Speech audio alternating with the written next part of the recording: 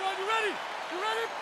All right, here we go. This should be good. Five rounds if needed to determine the UFC's welterweight champion. He lands the head kick. Well, he's got a strong jab. Missed with it there, though, Joe.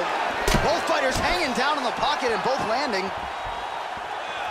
Yeah, he's digging into that leg kick. That strike will count. Oh, Huge that is shot a with big the hook. We'll see if he can follow it up.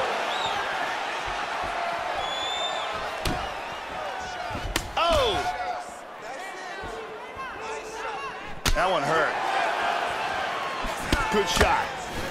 So his opponent lands that kick to the body, Joe, and he has shown an increased susceptibility to that strike here tonight. Gastelum gets caught with that punch. His chin is held up thus far. Got to shore up the defense here, though. Oh! Oh, there's another nice kick. Solid kicks. You may want to check one of those, bro. Keeps going back to that jab. Keeps throwing that jab, but unable to land. Nice.